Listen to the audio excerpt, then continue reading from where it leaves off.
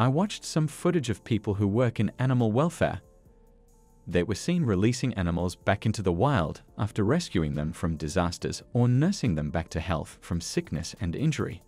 However, there are some animals that must never be released back into the forests or jungles of the world. These are pets that should not be let go into the real world, and it is important to keep them as pets instead of releasing them in the wild. Number 8. Green iguanas. Sometimes, due to unforeseen circumstances, people can't keep their pets and must find them new homes. However, irresponsibly abandoning them can lead to their death or cause environmental issues. For example, green iguanas, popular as exotic pets, are often released into the wild when they become too large to handle. These captive bred animals struggle to survive and can disrupt local ecosystems. In places like California, Florida, and Hawaii, released iguanas have formed colonies, threatening native species.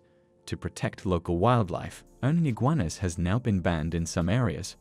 It's crucial to act responsibly and seek proper solutions when rehoming pets. Number 7. Giant African Land Snails This animal is actually illegal in the United States because it's considered an invasive species capable of causing significant damage to the environment. So there you have it. That is my rescue snail, Shrek. Unlike the everyday garden variety snail, the giant African land snail is huge, with the largest becoming up to 15 inches long. That's one big snail. For those interested in keeping one of these as a pet, the news is all bad. They're simply not allowed in the US. Their history can be traced back to 1966 when a young boy brought three to Miami. Unfortunately, his grandmother wasn't exactly pleased, and when he could no longer handle them, she released them into the wild. It seems like a relatively innocent decision given that's where snails usually reside. However, they ended up taking on a life of their own. Seven years after they were released, the giant African land snail population boomed to over 18,000 and was creating quite the name for itself in the environment. And the news was all bad. Due to the damage they caused, the state of Florida had to spend over a million dollars to get rid of them, a task that took 10 years.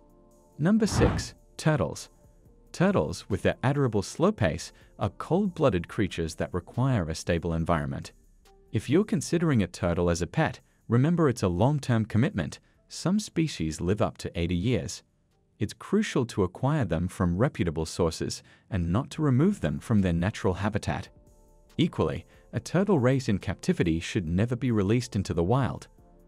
Before getting a turtle, research their dietary needs, habitat, and specific care requirements. An aquarium may not suffice as they grow, and releasing them into the wild is not a solution captive turtles lack survival skills and can disrupt local ecosystems if they're not native. If you need to rehome your pet turtle, seek a suitable domestic environment instead. Number 5. Cuban Tree Frogs Cuban tree frogs are one of the largest tree frogs in the world. They are native to Cuba and the Bahamas, but mainly inhabit islands in the Caribbean region. They also make great pets and are popular among exotic animal lovers. Unfortunately, as is occasionally the case with pets, owners get bored of taking care of them. Some even go to the extreme of letting them escape. This has become so common with the Cuban tree frog that they now populate parts of Georgia and Florida. Now there are so many of them in the wild that are considered an invasive species and create quite the chaotic disturbance to the environment. The frog quickly grows out of control preying on native species like lizards, tadpoles, small snakes, and other tiny animals. They have a huge appetite, and although not as large as some predators, there's no natural predator that is capable of controlling their population. As a pet, they're fairly easy to care for as long as they get enough to eat and drink. But in the wild, they're dangerous, ruining a large portion of Florida's ecosystem. The best place for a Cuban tree frog is in a cage at home where it can remain happy and healthy. Number 4. Hermit crabs. Hermit crabs are not suitable pets for several reasons. In the wild, they live in colonies, use seashells for protection, and enjoy social activities like climbing and foraging on tropical seashores. They can live up to 30 years, but in captivity, their lifespan is often reduced to just a few months to a year. Tap water can be toxic to them, and confined spaces hinder their molting process, which is essential for their survival. Hermit crabs are complex creatures that belong in their natural habitat, not in a cage.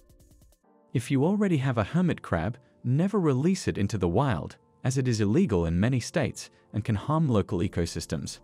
If you must release it, ensure it's in a region where the species is native. However, be aware that releasing a pet can have legal consequences. Number 3. Wolves. This large canine is native to Eurasia and North America. It is also closely related to both the coyote and golden jackal and has a reputation for being a vicious pack animal. Quite the social butterfly, the wolf's nuclear family consists of mom, dad, and their offspring. There are up to 38 subspecies of wolves and a global population of an estimated 300,000. Wolves have a long history of interactions with humans, with most despising and hunting them due to attacks on livestock. Others respect them and dedicate their lives to caring for the largest member of the Canidae family. Unlike dog pups, wolf pups are usually taken from their mother at the age of 14 days. They also require a lot more socialization in order for them to properly imprint on humans. Wolves are trainable, but not to the degree that dogs can be. In fact, they take a lot more work to obtain the same degree of reliability seen in most dogs. They are not an easy choice, and some are euthanized or released into the wild. Here, they are likely to starve or be killed by wolf packs that are already established in the area. Releasing a wolf into the wild that has been born in captivity is simply cruel and shouldn't be done. Number 2. Chimpanzee. The chimpanzee is a great ape species that can be found in the forests and savannas of tropical Africa. These animals learn vital survival skills from their elders, so if they are kept in captivity, they may not have access to the knowledge and abilities they need to thrive in the wild. If a chimpanzee is released back into the wild after being kept as a pet or in captivity, it is likely to struggle to find food and water, make tools, and avoid predators. As an endangered species, chimpanzees are reliant on their instincts and skills for their independent survival. There are at least four subspecies of chimpanzees in Africa, each with unique physical and genetic characteristics. In the United States, many chimpanzees have been bred indiscriminately, and if released into the wild, they could disrupt the genetics of current populations. They could also introduce diseases to wild populations, potentially endangering thousands of chimpanzees. Number 1. Mouse Owning a pet mouse is a popular choice for many people. They are often kept in a cage, sometimes with tubes and tunnels or a hamster wheel, and are occasionally let out to spend time with their owners. They are low maintenance pets and don't require much food.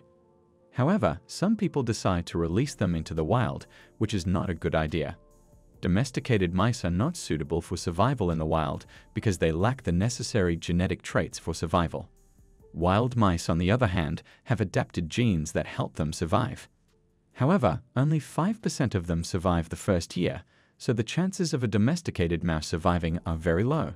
The smartest, fastest, strongest, healthiest, and luckiest mice survive to reproduce and pass on their genes, and a pet mouse will not be among these lucky few.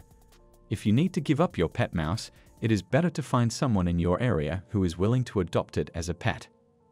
At times, individuals may face circumstances where they are unable to keep their pets, while some people choose to responsibly rehome their pets, others may believe that releasing them into the wild is a better option.